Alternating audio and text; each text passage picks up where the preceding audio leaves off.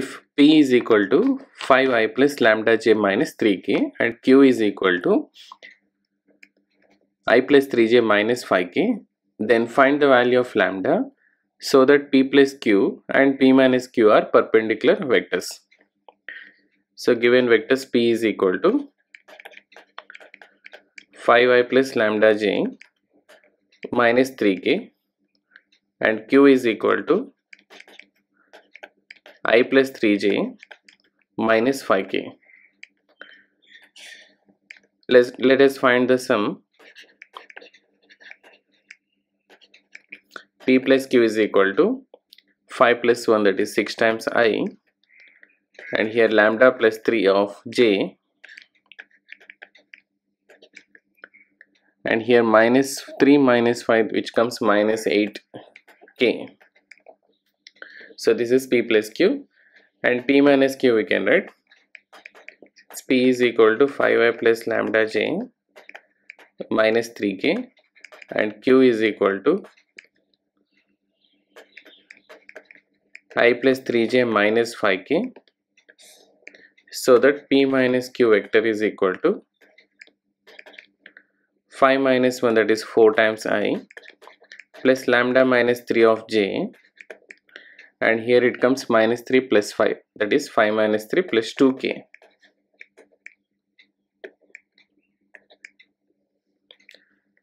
and let us consider. Let vector c is equal to p plus q.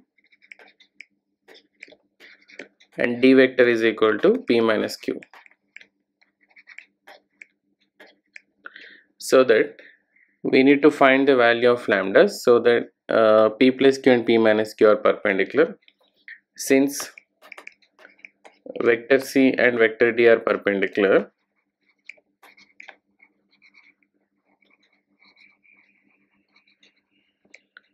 which implies that the dot product is 0 so the dot product is c is nothing but p plus q that is 6i plus lambda plus 3 of j minus 8k dot product with d vector that is p minus q 4i plus lambda minus 3 of j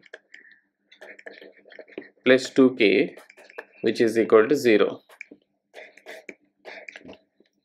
so I'm simplifying. So dot product can be done with by taking scalars components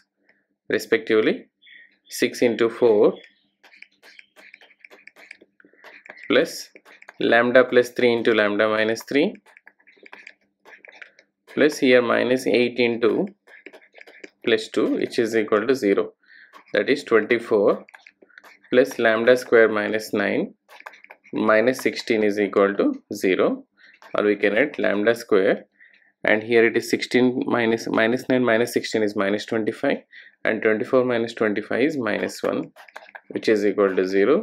so lambda square is equal to or lambda plus 1 into lambda minus 1 is 0 again right? Lambda plus 1 into lambda minus 1 equals to 0 so that we can say lambda plus 1 is equal to 0 or lambda minus 1 is equal to 0 that is the value of lambda can be taken plus or minus 1